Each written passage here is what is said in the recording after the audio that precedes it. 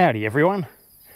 We are here on Daisy Downs farm and I'm doing a little mod to the truck that I thought you would be very interested in if you're an NPS owner. I'm hanging out here with Rosie. Hey Rosie. Hey. Rosie's a resident pig. Hey girl. She's my mate, keeping me company. And what I am doing is I am installing a cabin air filter. This truck comes standard with what you could call best as a strainer. You can see it here. It's got a little bit of dirt on it. It's basically a fly screen. That's all it is. Stopping the dust and whatever else getting in the cab. Also, you might want to note that if you go through a river crossing, as soon as the water gets that high, you've just got this little deflector here and the front cover. As soon as it gets higher than that, hey, if it forces around, it'll go straight into the cab. So we're going to help prevent that a bit. We're also going to stop the dust and I'll show you how. I have purchased a washable K&N cabin air filter. All the details will be on our website in a blog about the filter and all of that and the dimensions and so on for the brackets. And I have had made up this rather, well, sort of complicated bracket and retainer. And basically, that is going to fit hopefully right there. And we'll have a cabin air filter mount. The truck has two air filters. The one I just showed you from the front which can you can simply unclip by putting your hand up around the bottom here, pushing the two tabs together and pulling it out.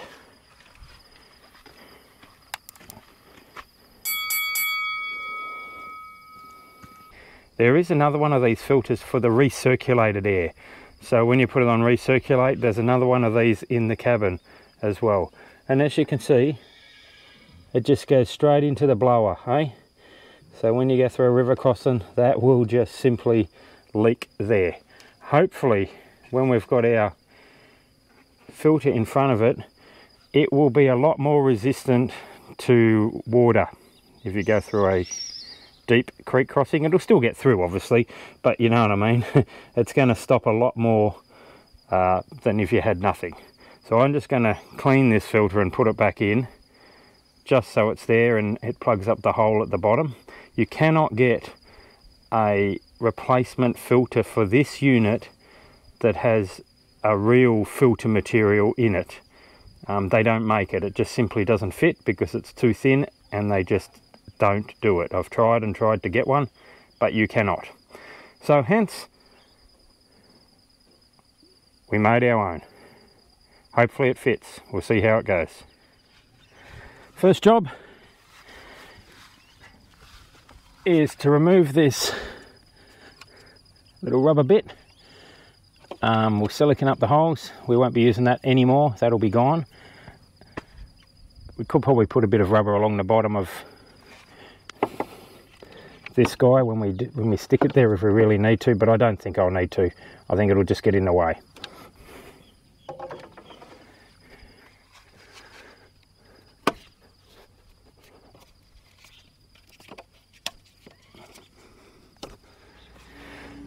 Next thing I need to do is line up these bolt holes. Because they're right on the edge there.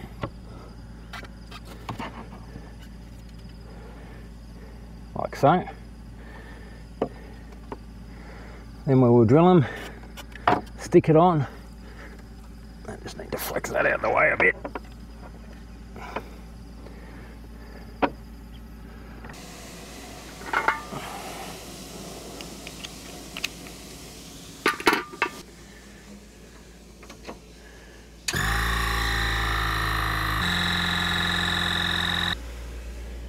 Just in case you're wondering, our Oasis compressor from Jet Air compressors is still going great. So it's been smashing out the tyres and everything as good as new, as you would expect. So it's been very good. And just on another side note, we have been supplied a fridge from Bogue RV. It just looks very, very similar to a Waeco because I've got a Waeco that I've had for about oh, 18 years and it looks extremely similar to that. And we've actually replaced our Esky with that fridge. We used to have an Esky on this side if you recall and we used to put freezer blocks in our other freezers and then put them back in the esky for all the you know fruit and veg and dairy and all that sort of thing but we had problems with that in the end because those esky blocks were just increasing the temperature in the freezer too much and starting to melt.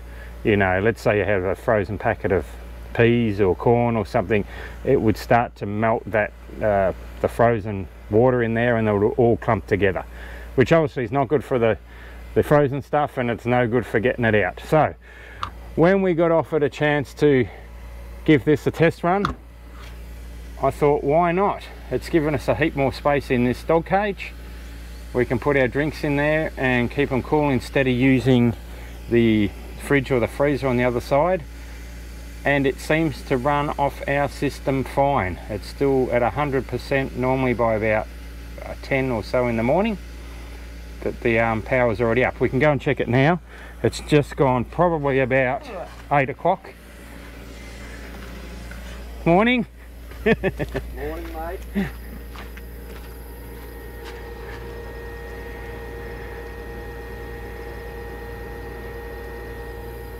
There, it's just gone 8 o'clock and we're at 82%. So we can keep an eye on that today. It'll get up to 100 easily. We've got super sunny weather, but it currently is 34 degrees already, if you can see there on our ambient temperature. And our um, angles are working just great. Well, I've changed shirt. The singlet was just too hot in the sun. I was going to get burnt to a crisp. So I've moved on to sleeves.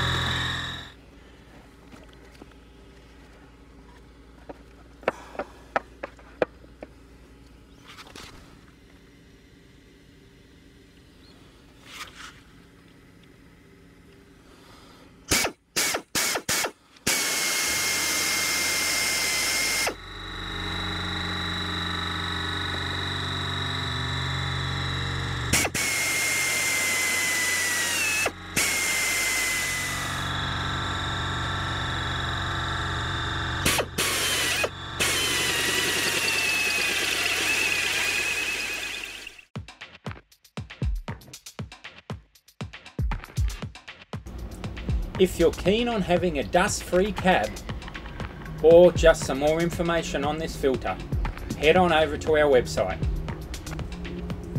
We are currently working on version 2 and taking expressions of interest. Head on over.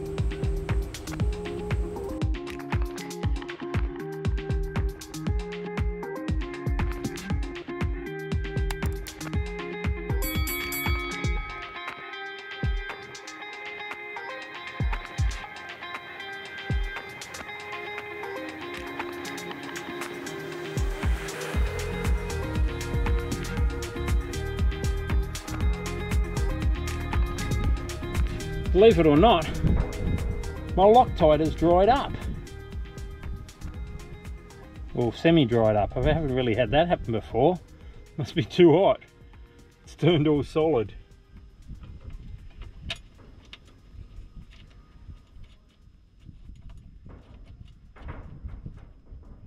I do have spring washers and washers on it as well, but I thought I'd just better put some on there.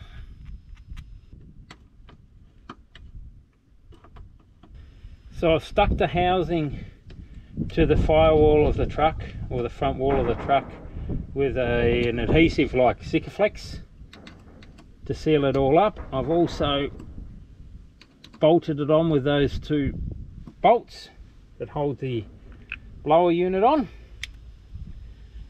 So we're done. Washable. Stop the dust.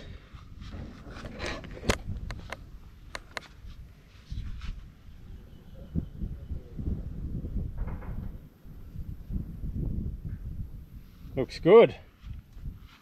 All sealed up. No water. Should be enough compression, I'm hoping, with the rubber.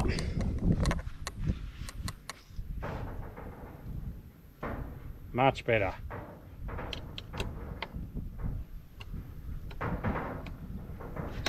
I did have to modify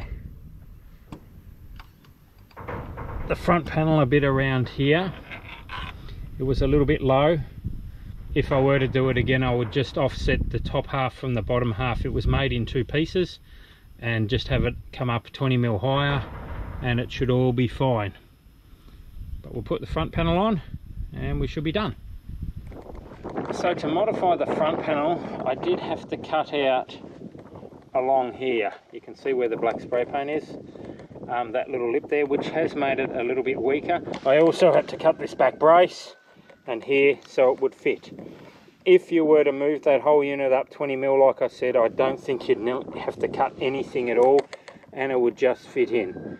I was concerned at the start until I saw how much rust was in this top panel all around here. This top rubber had rust under it. You can see it a bit there. So when I saw that, I thought, well, it's only going to last another two years, really, anyway, unless I do something. So that's pretty poor from Isuzu. I think this top rubber, this top rubber must catch the, catch the salt and whatever else as you drive along here.